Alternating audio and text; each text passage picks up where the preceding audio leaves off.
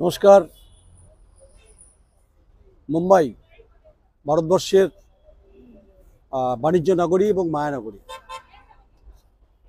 আরব সাগরের পারে মুম্বাইকে সবসময় বিভিন্ন সময় ওয়েদার চেঞ্জ হয়।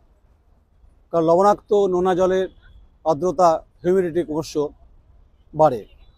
গত দুদিন ধরে মুম্বাইয়ের আকাশে বাতাসে শিরশির করে হাওয়া বইছে। বৃষ্টি হয়েছে দুদিন ধরে। নাগপুর থেকে শুরু হয়েছে বৃষ্টি। ছাব্বিশ এগারো, আজকে সাতাশ এগারো, আঠাশ এগারো, উনত্রিশ এগারো যে প্রত্যেকের জানা আছে যে জঙ্গি আক্রমণের পরিপ্রেক্ষিতে একশো উনআশি জনের মৃত্যু দশজন জঙ্গি যা, যারা করেছিলেন সেগুলো নিয়ে অনেক কাটাছেড়া পোস্টমার্টে অনেক কিছু হয়েছে। কিন্তু আমি যে বিষয়টা পয়েন্ট আউট করতে চাইছি যে পলিটিক্যাল সিস্টেম ইন্ডিয়া জোট ইন্ডিয়া জোটের যিনি মহা কারিগর এনসিপির লিডার শরদ পাওয়ার তিনি মহারাষ্ট্রের আনাচে কানাচে অলিগলিতে তিনি অতি সুপরিচিত নাম। অর্থাৎ নরেন্দ্র মোদীর হটাও অভিযানে ইন্ডিয়া জোটের মুম্বাইতেও বৈঠক হয়েছিল বেশ কয়েক মাস আগে। জল অনেক গড়িয়েছে, অনেক আলোচনা হয়েছে। বিভিন্নভাবে নরেন্দ্র মোদী সরকারের বিরুদ্ধে আক্রমণ, পরাক্রমণ ক্রমাগত অব্যাহত সেটা পাটনা থেকে শুরু হয়েছে, মুম্বাই দিল্লি সর্বত্রই হয়েছে। দু হাজার চব্বিশের মহারণ দু হাজার চব্বিশে নরেন্দ্র মোদীর সরকারের কাছে অগ্নি পরীক্ষা বলে মনে করছেন অনেকে। তাই মহারাষ্ট্রের রাজনীতিটা ক্রমশ আরব সাগরের স্রোতের মতো কখনো কখনো পাক খেয়ে ওঠে। উদ্ধব ঠাকরে সরকার ছিল, তারপর সেখান থেকে একনাথ শিন্ডে, তারা আসাম চলে যান, প্রত্যেকে জানা আছে। হর্স ট্রেডিংয়ের গল্প শোনা যায়।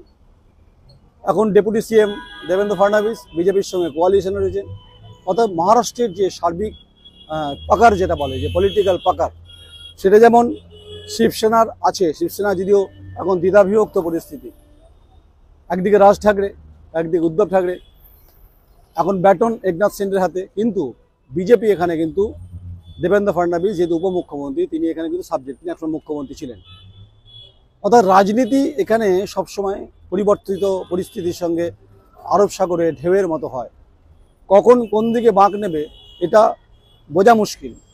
যেহেতু শরদ পাওয়ারজির মতো নেতা এখানে রয়েছে, তাই ইন্ডিয়া জোট আগামী দিনে, অর্থাৎ দু হাজার তেইশ শেষ হওয়ার পর দেশের সাধারণ নির্বাচনের ঘণ্টা বেজে যাবে।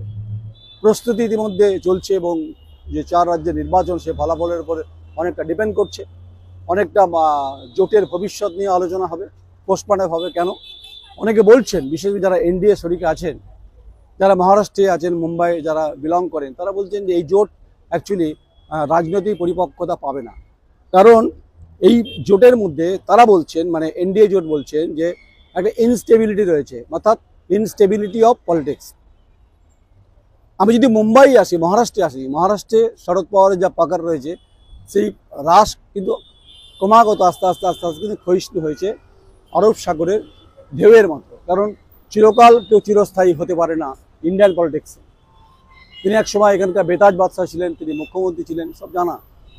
তাই শরদ পাওয়ারকে সামনে রেখে যে লড়াই ইতিমধ্যে একদিকে মমতা বন্দ্যোপাধ্যায়, একদিকে অরবিন্দ কেজরিওয়াল, তেজস্বী যাদব, এই সামগ্রিকভাবে নীতিশ কুমার যে লড়াই তারা দিতে চাইছেন, তাদের বক্তব্য খুব পরিষ্কার, যে দেশের এই উনিশ থেকে চব্বিশ পেট্রোল, ডিজেলের দাম ক্রমাগত উদ্যমুখী হয়েছে, নামেনি। যদিও এনডিএ সরকার, নরেন্দ্র মোদী সরকার বলছে যে ইন্টারন্যাশনাল যে বাজার, আন্তর্জাতিক যা বাজার, যা ক্রুড অয়েল এবং যে কাঁচা তেলের যা দাম, সেই পরিপ্রেক্ষিতে ভারতের বাজারকে নিয়ন্ত্রিত করতে হয়। এক। নম্বর দুই অভিযোগ উঠেছে যে, যে- যে সমস্ত রাজ্যে তার শেষ রয়্যালটি থাকে, সেটা যদি তারা কম করে, সেখানে তাহলে প্যারামিটার পেট্রোল ডিজেলের ক্ষেত্রে কমতে পারে, যেটা পশ্চিমবঙ্গের ক্ষেত্রে হয়নি বলে এনডিএ অভিযোগ করছে। কৃষি এবং কৃষক আমাদের প্রত্যেকের মনে হচ্ছে মহারাষ্ট্রের তুলো চাষিদের আত্মহত্যার ঘটনা বারবার বারবার কিন্তু বিভিন্ন সময় শিরোনামে উঠে এসেছে। তাই একদিকে ভিটি স্টেশন, একদিকে নগরপালিকা অর্থাৎ মিউনিসিপ্যাল কর্পোরেশনের ঠিক এই জায়গায় দাঁড়িয়ে একদিকে ওপরে টেম্পারেচার হাই কিছু দূরে আরব সাগরের ঢেউ, সমুদ্র, লেহের। এই আরব সাগরের লেহেরের মতো ইন্ডিয়া জোট আগামী দু হাজার চব্বিশে গুলিয়ে যাবে না তো? ঘুরপাক খাবে না তো? দুর্নিবার ঝড়ের মতো? যেটা অকাল বৃষ্টি গত দুদিন ধরে মহারাষ্ট্রের আকাশে, বাতাসে প্রভাবিত করেছে মানুষকে। কখনো বৃষ্টি স্নাত সকাল, বৃষ্টি স্নাত দুপুর, বৃষ্টি স্নাত সন্ধ্যায় মানুষ ভিজেছে। কিন্তু রাজনীতি এখানে খুব গুরুত্বপূর্ণ ইম্পর্টেন্ট কারণ ভারতবর্ষের পলিটিকের পলিটিক্যাল যে সিস্টেম সেটা যেমন দিল্লিতে অবস্থিত, হলেও মুম্বাই থেকে একটা বৃহৎ অংশের পলিটিক্যাল অ্যান্ড ইকোনমিক্যাল একটা মহাজোট গঠবন্ধন কিন্তু হয়। কারণ হচ্ছে দেশের বাণিজ্যের একটা মূল প্রাণকেন্দ্র হচ্ছে মুম্বাই।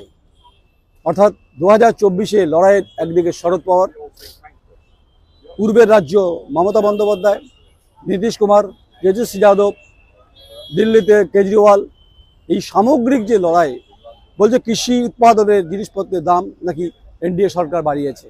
তর্ক বিতর্ক চলছে। একে অপরের বিরুদ্ধে তোপ দাগ কামান দাগছেন বড় বড় গোলা ফেঁকছেন। একদিকে ইডি সিবিআইয়ের ধরপা করে পশ্চিমবঙ্গের এই মুহূর্তে যা পরিস্থিতি, সেটা মহারাষ্ট্র আলোচনা হচ্ছে। যদিও মমতা বন্দ্যোপাধ্যায় বলেছেন যে ইডি সিবিআই যেভাবে আক্রমণ করছেন এবং যেভাবে অভিযান করছেন, এটা পলিটিক্যাল গেম এটা কখনো কখনো আমরা বিভিন্ন সময় শরৎ পরে মুখ থেকেও বেরিয়ে আসছে।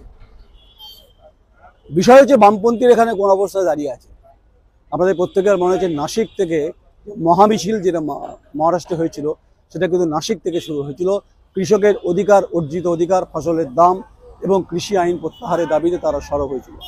প্রত্যেকের মনে হয়েছে সেটা দিল- দিল্লিতে সরকারকে সেখানে বিধান সদনে আনতে হয়েছিল, লোকসভা এবং রাজ্যসভায়। অর্থাৎ মহারাষ্ট্রের একটা বৃহৎ অংশে কিন্তু কৃষি ব্যবস্থার উপর যুক্ত। কারণ হচ্ছে নাসিক এদিকে নাগপুরের একটা বৃহৎ অংশে কিন্তু, যেখানে বিভিন্ন তুলো চাষ খুব গুরুত্বপূর্ণ। তাই রাজনীতি, বারবার বলছিলাম, রাজনীতি আর অর্থনীতি একে অপরের সঙ্গে সম্পর্কিত, কারণ ভারতবর্ষকে পরিচালিত করে পরিচালিকা শক্তি নির্ধারণকারী, নির্ধারকরা এই মহারাষ্ট্রে মুম্বাই শহরে থাকেন। আমি নাম করছি না কোনো শিল্পপতি। পশ্চিমবঙ্গে বিনিয়োগ নিয়ে অনেক কথা হচ্ছে তাজ সমুদ্র বন্দর নিয়ে। যে আদৌ সেখানে বন্দর হবে কি না তা নিয়ে বিরোধী দলনেতা বক্তব্য আমরা শুনছি বিভিন্ন সময়। তাই মহারাষ্ট্রের, মুম্বাইয়ের ভিটি স্টেশনের সামনে একদিকে যখন ন্যায়পালিকার অর্থাৎ নগরপালিকার অফিস আর একদিকে যখন আরব সাগর সেখানে পরিবর্তিত পরিস্থিতির কথা আমরা আলোচনা করতে পারি। যেটা বলছিলাম বামপন্থীদের অবস্থান কি? বামপন্থীরা বলছেন যে তারা জোটে আছেন কিন্তু পশ্চিমবঙ্গ সরকারে যে একের পর এক দুর্নীতিতে নাম জড়াচ্ছে বিভিন্ন ক্ষেত্রে তা তারা নৈতিকভাবে সমর্থন করছেন না। কিন্তু বৃহত্তর স্বার্থে মোদি হাঁটা অভিযানে তারা সামিল হয়েছেন। আগামী ডিসেম্বর মাসে গীতা পাঠ অভিযান আহ, গীতা পাঠ আছে যেখানে প্রধানমন্ত্রী যাবেন। দু হাজার চব্বিশের জানুয়ারিতে রাম মন্দির উদ্বোধন হবে। অর্থাৎ এই যে ধর্মীয় ব্যাপার নিয়ে একটা উন্মাদনা হবে তা নিয়ে কোনো সন্দেহ নেই। অর্থাৎ একদিকে মেরুকরণের রাজনীতি, একদিকে জাতপাতের রাজনীতি, একদিকে ইন্ডিয়া জোট, একদিকে বলছে এনডিএ জোট। ইন্ডিয়া বলছে মোদী সরকার চলে যাবে, আবার এনডিএ বলছে এ জোট এ জোট গোট এই জোটের মধ্যে কোনো অস্তিত্ব নেই। বাট দেশের যা পরিস্থিতি এই মুহূর্তে কৃষি এবং কৃষকের প্রান্তিক স্তরে মানুষের গড় আনুপাতিক আয়ের হার খুব একটা উন্নত জায়গায় নেই, সেটা মহারাষ্ট্রের প্রান্তিক স্তরে পরিষ্কার হয়েছে। তাই বামপন্থীরা যে মেহনতি মানুষের কথা বলেন, তারা যে বক্তব্য রাখার চেষ্টা করেন, তাদের ফিলোসফির সঙ্গে ইন্ডিয়া জোটে যারা আছেন, যাদের বিরুদ্ধে বিভিন্ন সময় অভিযোগ আছে, সেই ফিলোসফিটা ম্যাচ করছে কিনা সেটা দেখার আছে। বারবার বলছেন তারা সিপিআইএম লিবারেশন থেকে শুরু করে সিপিআইএম তারা বলছেন যে বৃহত্তর স্বার্থে তারা এই মুহূর্তে মোদীর বিরুদ্ধে অভিযান চলবে স্বাভাবিকভাবেই মহারাষ্ট্রের মাটিতে সোদাগন্ধ না হলেও নোনাগন্ধে আরব সাগরের তীরে সে অনুভবটা আমরা করতে পারছি। একদিকে শরদ পাওয়ার, তিনি খুব কিং মেকার তা নিয়ে কোনো সন্দেহ নেই।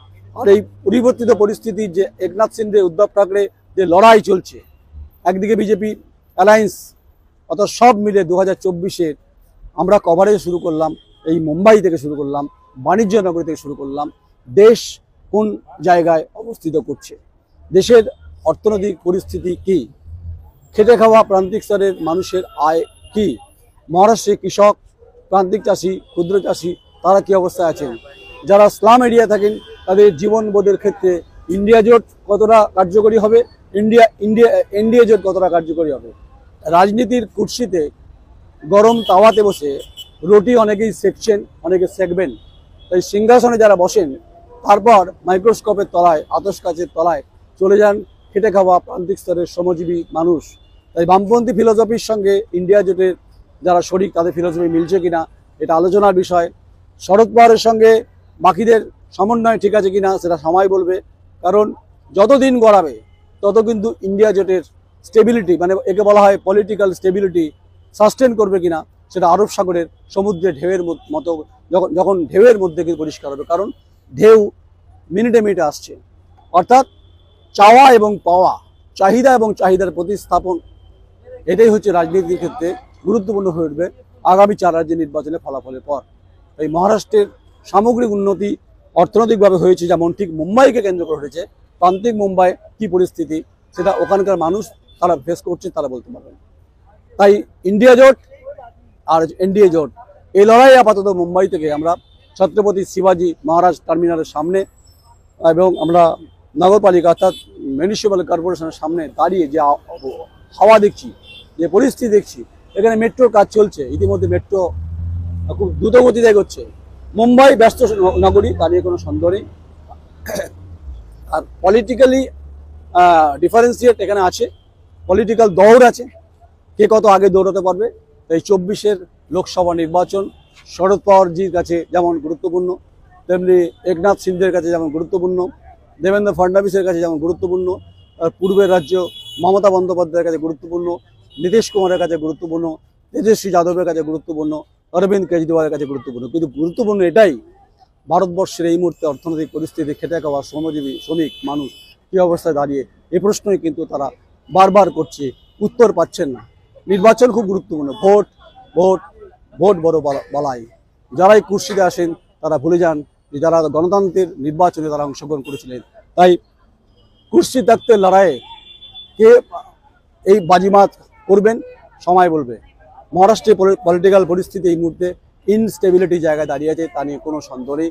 দেখতে থাকুন, সঙ্গে থাকুন, জুড়তে থাকুন। আমি Nayan Roy, Mumbai the query dot com নমস্কার।